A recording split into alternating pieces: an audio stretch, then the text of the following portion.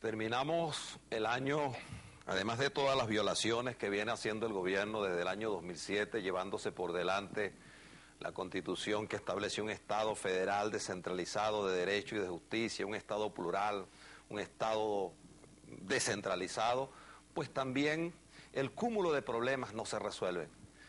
Hay que seguir en la lucha, hay que seguir trabajando hasta hacer que el imperio de la ley sea lo que predomine en nuestra sociedad y que podamos cohabitar en este país los que pensamos de una manera u otra. Ese momento más temprano que tarde va a llegar y el país va a ver el nacimiento porque no hay mal que dure 100 años ni cuerpo que lo resista. Pero hoy el gobierno tiene que dar respuesta a problemas que son sencillos de la gente. A esa mujer humilde que va al mercado y no consigue un producto de la dieta básica a esos venezolanos que saben que este año cerramos con más de 20% de inflación dado por el Banco Central de Venezuela, de Venezuela. A ese país que sabe que en las calles de Venezuela cada hora se muere un cristiano producto del crimen y la violencia. 21 mil muertos el año pasado producto del crimen y la violencia. En una ciudad como Nueva York, que tiene muchísimos más habitantes que los que tenemos en el país, bueno, aquí ocurrieron en ese país 543 crímenes durante un año. En Venezuela, solo en Caracas, en el municipio Libertador, cerramos con 543 muertos.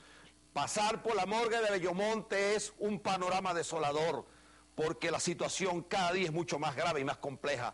Los que ponen los muertos incluso son los sectores más débiles y más pobres. El 80% de esos 21 mil muertos son no solamente heridos de bala y de armas de fuego, que esperan por una Asamblea Nacional que nosotros todos los días exigimos que se apruebe la ley de desarme, sino que también son gente de los sectores pobres.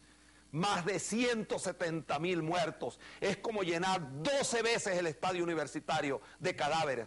Es una situación tenebrosa la que narro, pero eso ocurre en Venezuela. El problema de la salud. En nuestros hospitales los pobres tienen que llevar los implementos para operarse, porque este gobierno que se ufana de defender a los pobres no atiende ni siquiera el problema de la salud.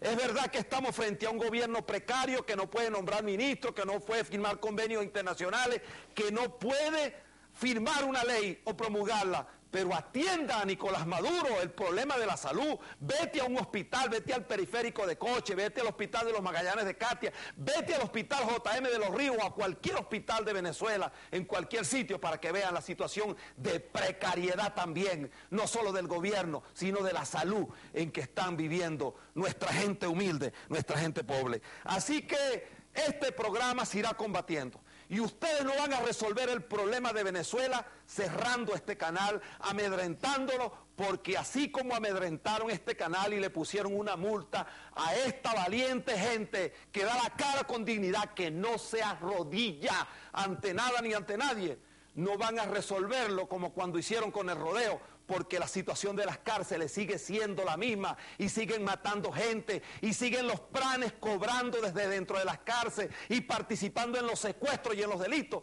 Y el problema continuó y ustedes le aplicaron una multa a este canal.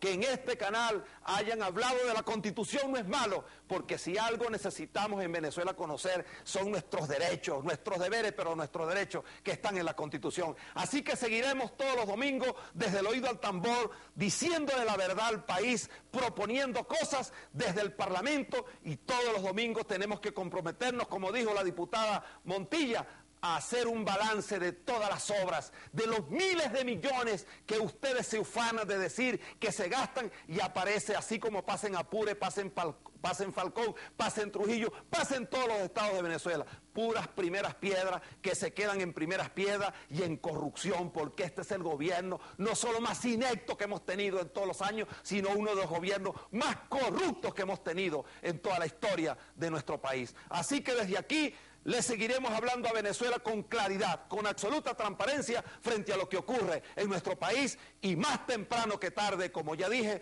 Venezuela verá, como dijo un día Martin Luther King, una noche puede ser muy oscura, muy tenebrosa, en ella pueden haber rayos, truenos y centellas, pero va a amanecer y ese amanecer está mucho más temprano que tarde. Hasta el próximo domingo en el oído del tambor.